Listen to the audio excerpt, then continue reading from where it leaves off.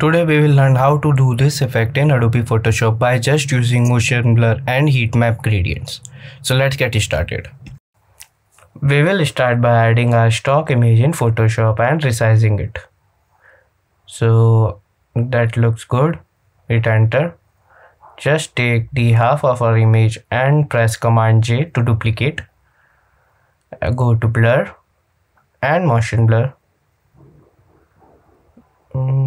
make the value little too higher press ok. Duplicate by pressing alt and go to blur. Again motion blur. Same frequency. Press ok.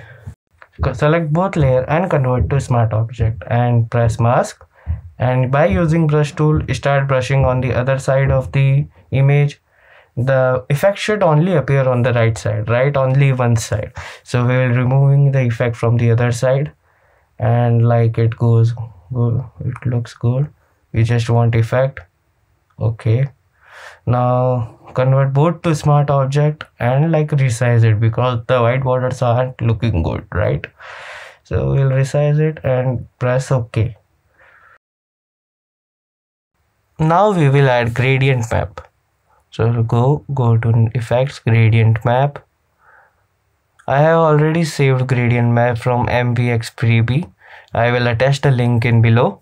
So go and please check out that. So I really like this gradient. Or maybe uh, this one. So yeah I I want to go with this one. Start experiment with the triggers in gradient box. Okay. I just want this to like it be more darker or something press ok so uh, like uh, resize it more like little bit more because we are seeing the borders. Now it's time to add text. You can add whatever you like. I am writing my text resizing it to a little bit bigger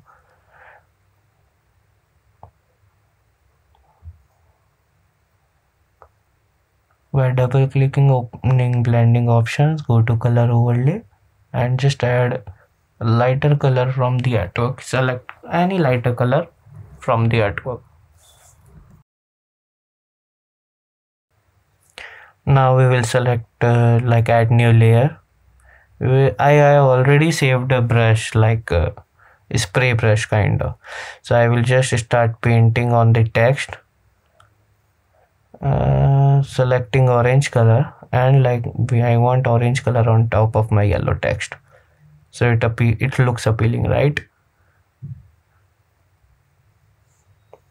Just a little bit of spray on my text. And now that layer I will do mask and remove the like spray from unwanted areas like from orange especially. I just want it on my yellow text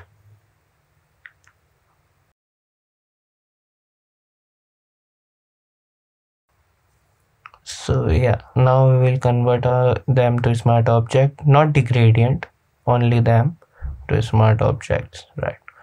Now we will go to noise add noise and like not too much just a little bit two or three point maybe whatever you like. Okay hit okay okay that's looking nice. So now we will add some more typography on top of that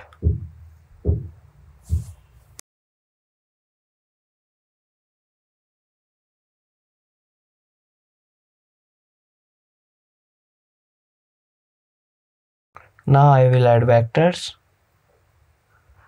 I will make them red so we can see on the artwork.